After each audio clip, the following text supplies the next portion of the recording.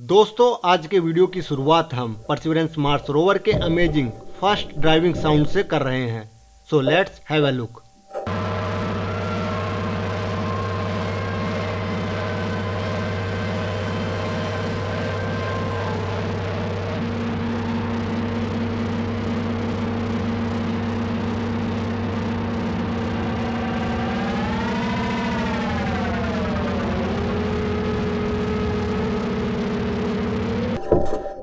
दोस्तों perseverance rover ने अपने काम को बखूबी निभाते हुए मार्स की सरफेस पर एक बार फिर से लाइफ की पॉसिबिलिटीज को दर्शाने वाला एक वंडरिंग एक्टिविटीज़ को कैप्चर करने में सफल रहा है और अपने वेरियस कैमरा सिस्टम की मदद से लाल ग्रह पर हवाओं के चलने और धूल मिट्टी के उड़ने की बेहतरीन इमेजेस कैप्चर करने में सफल रहा है।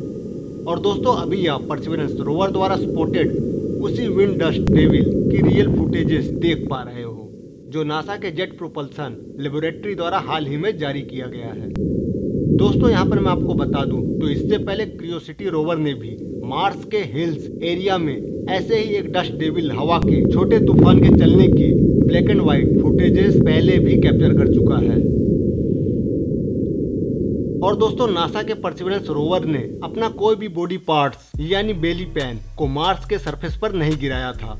बल्कि इस बेली पैन को पहले से ही नासा द्वारा इजेक्टेबल प्रोसेस के लिए डिज़ाइन किया गया था जिसे सैटरडे को जानबूझकर परसिवरेंस रोवर के मेन बॉडी से इजेक्ट यानी अलग किया गया।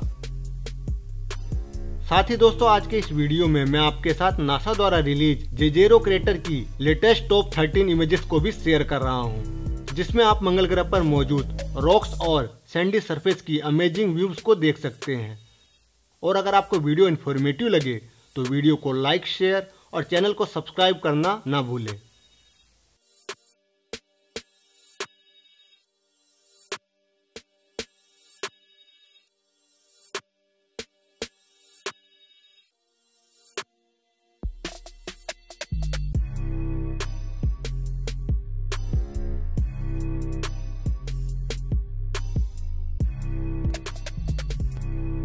तो मैं हूँ टवी और आप देख रहे थे अपना science channel TV technical space.